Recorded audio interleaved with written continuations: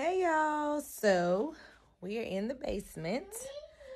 Mr. Carter has decided that he would like for us to come down here and check out the progress of the basement. So, remember the last time we were here? Um, we just did the demo. It was stuff everywhere.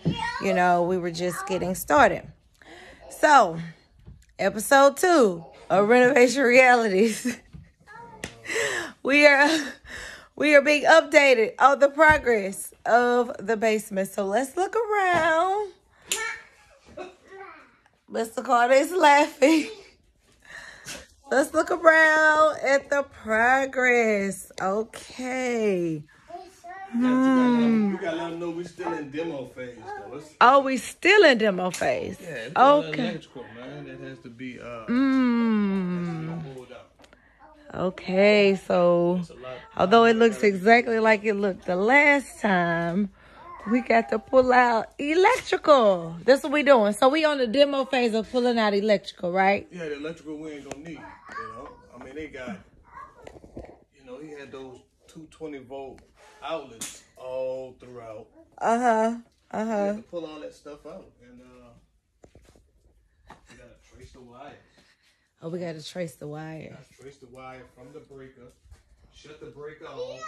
Shut the breaker off, and then trace the damn wires all the way through. And pull all that stuff out. I Okay. need to see all that stuff on the ground that had to be pulled out. Right. Um, but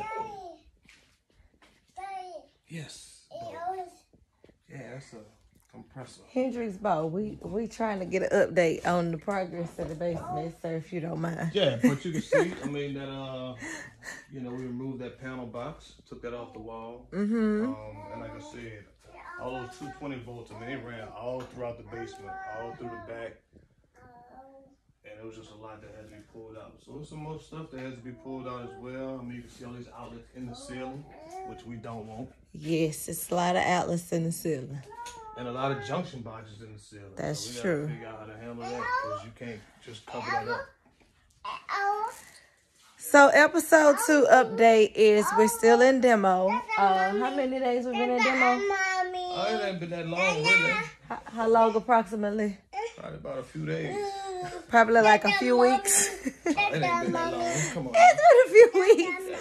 Yeah, But you know what? been that long. In Mr. Carter's defense, we have had a lot going on. It's been a lot of projects. We've been working on the closet, been working on the um outside. We had Working on life. working on life. we had the hurricane to come through. Was it a hurricane? Tropical storm. Zeta came through. We had some roof damage. We had some yard damage.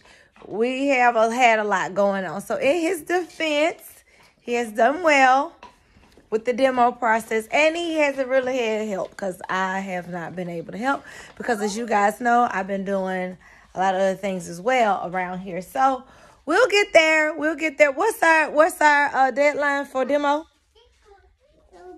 I would say maybe about another week. And then we're gonna move on to framing. Yeah. But we can probably do that in tandem, really, to be honest, because Ooh, tandem. cause there's some spots in the back that we can start framing. That, you know, the electrical damage to be pulled out back there. This is really the main spot where he got all that electrical stuff.